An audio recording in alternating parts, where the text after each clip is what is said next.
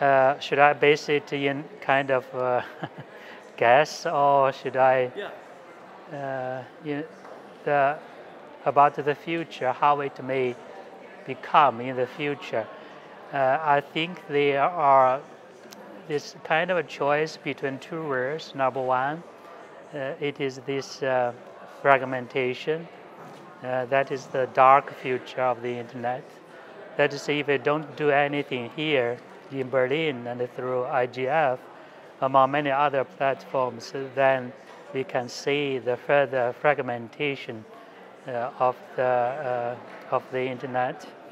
Uh, we are already seeing the signs, and another good uh, kind of uh, vision of the internet is uh, enshrined actually by the slogan of this IGF, that is called One Vision, One Net. That say, if there is a, can be a kind of uh, better or improved digital uh, interdependence, especially if we see the prosperity of a global digital economy. Uh, the business communities are working together uh, for this, uh, defending one net or this vision, and also technical communities are doing things.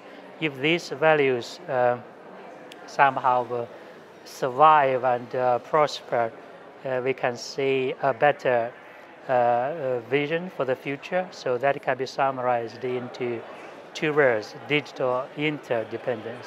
Thank you.